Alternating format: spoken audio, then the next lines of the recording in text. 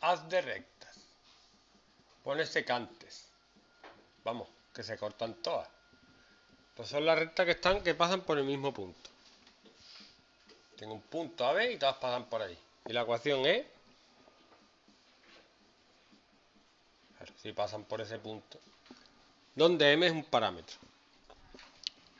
Se determina la de recta cuyo vértice es el punto 3 menos 1. Y yo. ¿En serio me lo estás diciendo, Guillermo? Y aquí tú pones la m que te dé la gana y te da una recta que pasa por ese punto.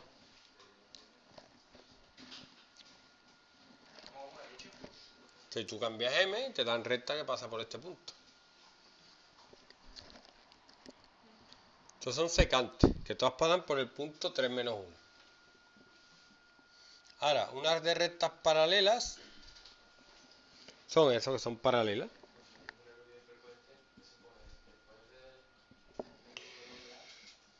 Entonces, para tener rectas paralelas tengo que tener un vector directo, por ejemplo.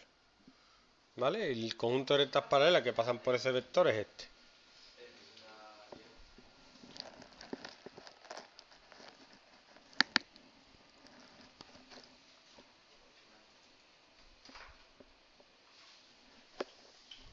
Chorradita, qué, qué poca chorradita, dice.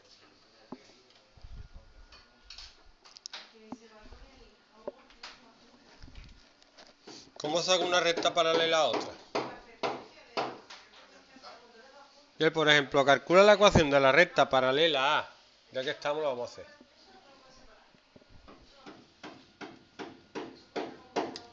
Recta paralela a esta, que pasa por el punto de intersección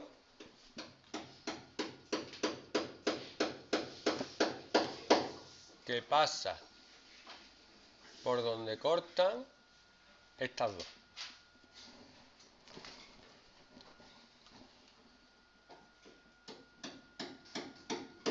x menos y más 5 igual a 0 y... ¿Perdona? Las leopardas. Que han puesto la misma dos veces. Que hecho esto un flipado. Voy a poner otra.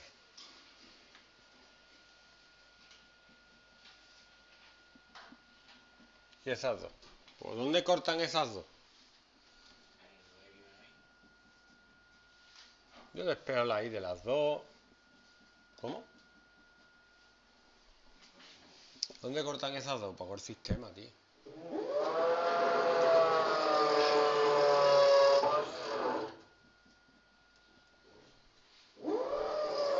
sale x igual a 2.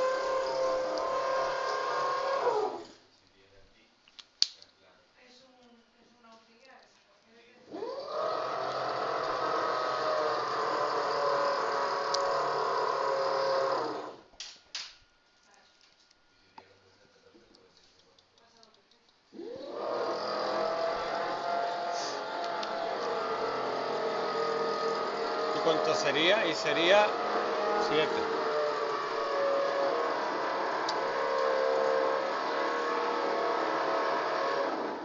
Entonces, ¿cómo calculo una recta paralela a esta que pasa por este punto?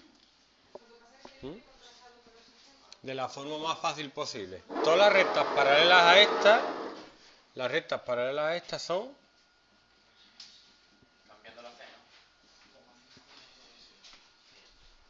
Y ahora se tiene que pasar por este punto, aquí tiene que ser 2, aquí tiene que ser 7.